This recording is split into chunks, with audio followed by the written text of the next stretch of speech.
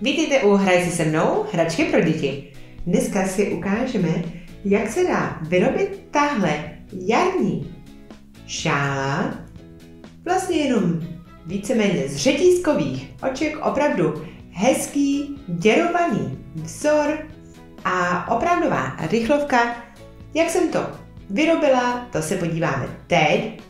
A začneme tedy s touhle Merino Mix Big vlnou My Oma a je to 50 gramů na 75 metrů a je to pro háček šestku nebo sedmičku. A já tady mám tedy háček číslo 6 a tady je natištěné číslo 337, to je tedy číslo té vlny a je to taková tmavě růžová barva a já si najdu ten začátek nebo ten prostředek a jak jsem říkala, je to opravdu hodně jednoduché a začneme deseti řetízkovými očky.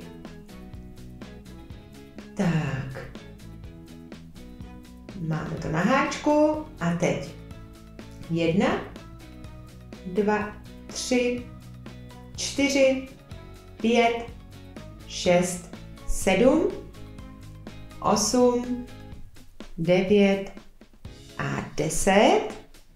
A pak jdeme hned na zpátek a zapíchnu do úplně prvního očka a udělám sloupeček.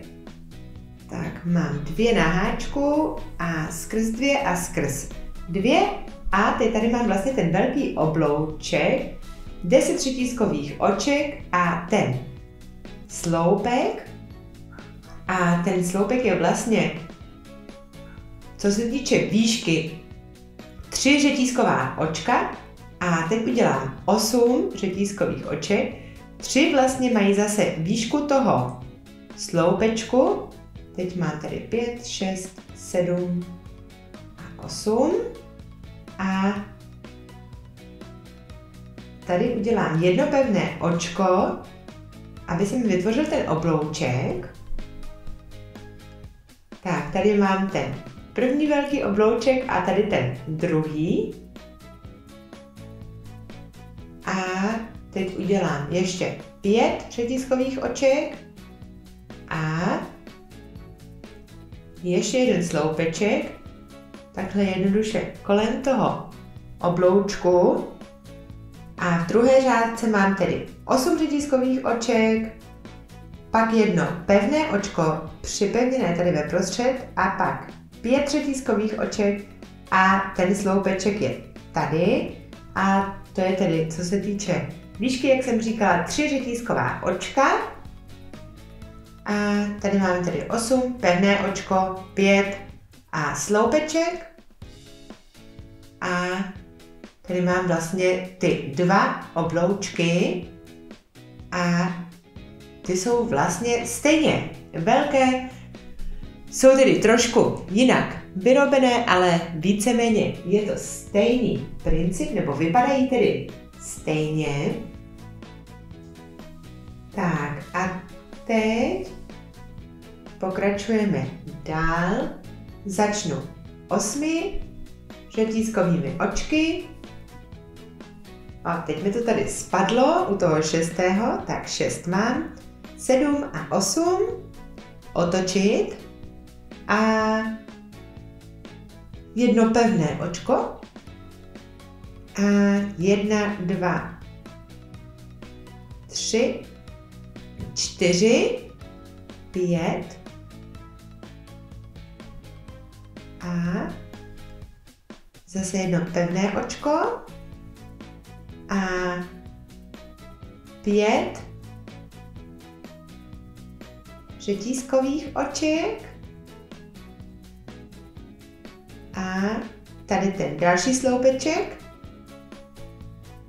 A ještě jednou, co mám ve třetí řádce? Zase jsem začala osmi řetízkovými očky Pak jsem to tady připevnila tím pevným očkem k tomu obloučku. Pak tady máme ten další obléček, eh, oblouček a teď to vlastně propuje tady ve prostřed. Ve druhé řádce mám dva obloučky a ve třetí mám tenhle oblouček a tady jsem udělala pět a ten sloupeček. Takže 8, 5, 5 a sloupeček. A jak vidíte, teď se nám tam přidává po každé jeden oblouček, takže se nám to rychle zvětšuje. Tak a zase začneme osmi. A tady propojit pevným očkem. Jedna, dva,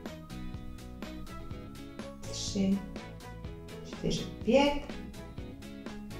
A spojit pevným očkem. A ještě pět. A zase pevným očkem spojit.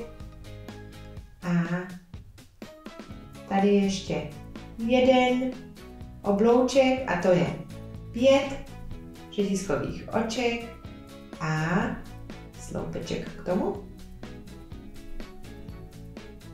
A takhle to teď vypadá. Tady máme ty dva obloučky, nebo ty obloučky, co vlastně pře mostují ty obloučky z předešlé řádky a tady je zase 5 a 1 sloupeček a tímhle způsobem vlastně budu pokračovat pořád dál a zase začneme osmi, pak udělám pevné očko a připevním a ty obloučky přemostuji pěti řetízkovými očky a na konci zase pět a k tomu ještě sloupeček.